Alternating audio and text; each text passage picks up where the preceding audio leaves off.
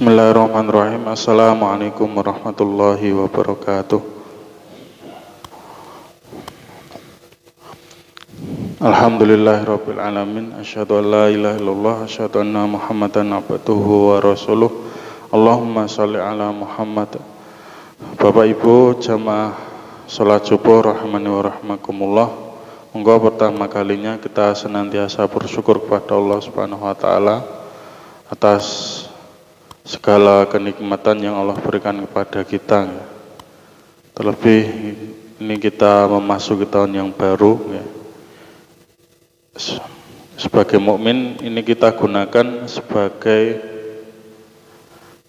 batu loncatan ya, agar kita lebih baik lagi untuk mengupgrade diri kita, kualitas ibadah kita daripada tahun-tahun kemarin. Salat dan salam kita aturkan kepada Nabi kita Nabi Allah Muhammad Sallallahu Alaihi Wasallam dan kepada orang-orang yang istiqomah berada di dalam milah sunnah beliau. Amin ya robbal alamin.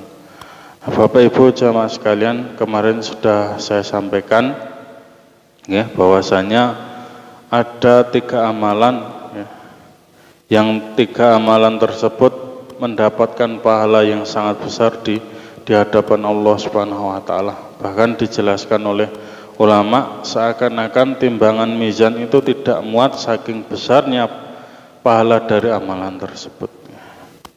Kemarin saya sampaikan yang pertama adalah puasa di bulan Ramadan, yang kedua adalah wal afina memaafkan sesama manusia, yang ketiga adalah sabar. Sabar di sini Bapak Ibu sabar yang berlaku dalam konteks di sini adalah dalam konteks kebaikan, dalam konteks kita beribadah kepada Allah Subhanahu wa taala. Jadi seberapa kuat pun kita menahan ketika itu dalam rangka untuk kemaksiatan kepada Allah Subhanahu wa taala, itu namanya bukan sabar. Misalnya oh aku tak nabung selama 11 bulan sesasi aku tak nabung 5 juta. Nanti akhir Desember aku tak main judi biar bisa puas. Itu bukan sabar. Akan tetapi sabar itu dalam konteks keimanan kita kepada Allah Subhanahu wa taala. Kita mendapatkan halangan dan dengan halangan itu kita bersabar. Nah di situlah itu yang namanya kesabaran nah Panjenengan kalau buka kalau baca kitab Riyadhus Shalihin di sana dijelaskan bahwasanya kesabaran itu ada tiga. Ya, ada tiga kesabaran.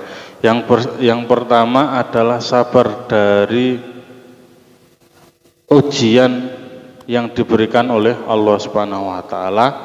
Yang kedua adalah ujian meninggalkan kemaksiatan, bersabar dari meninggalkan kemaksiatan. Yang ketiga adalah kita bersabar untuk melaksanakan ketaatan kepada Allah Subhanahu wa taala. Jadi tiga ini tadi memerlukan kesabaran ya. Yang pertama tadi ketika diuji kita diperintahkan untuk bersabar dan kata Allah di dalam Al-Qur'an wabasyiris sabirin dan kabar gembira itu kepada orang-orang yang bersabar. Bersabar dari apa? Dari ujian yang diberikan oleh Allah Subhanahu wa taala. Yang kedua adalah sabar tadi ketika kita meninggalkan kemaksiatan. Itu juga bagian dari sabar. Yang ketiga adalah sabar ketika kita melaksanakan ketaatan kepada Allah Subhanahu wa taala.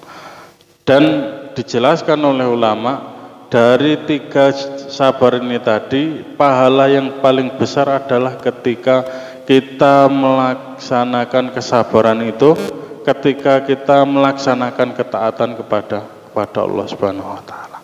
Karena apa Bapak Ibu jamaah sekalian?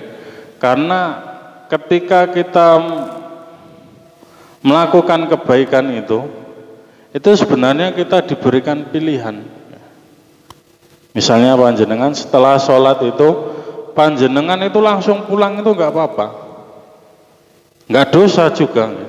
Om dikir setelah sholat itu hukumnya sunnah. Tetapi ketika panjenengan sabar, menahan diri panjenengan untuk berzikir, meluangkan waktunya berzikir, mengingat Allah dan berdoa. Nah, di situ panjenengan bersabar dalam rangka menaati apa yang telah Allah perintahkan pada pada panjenengan. Dan di sini jelaskan ulama, inilah pahala yang pahala kesabaran yang paling yang paling besar. Maka Bapak Ibu jamaah sekalian, ini menjadi motivasi kita agar kita lebih semangat lagi untuk meningkatkan amalan-amalan sunnah kita. Terutama ini tahun baru, ini menjadi motivasi untuk kita Semoga kita menjadikan diri kita lebih baik daripada tahun kemarin. Ini Bapak Ibu jamaah sekalian yang kami sampaikan. Mudah-mudahan bermanfaat. Apabila banyak kesalahan mohon dimaafkan. Akhir kalam. Assalamualaikum warahmatullahi wabarakatuh.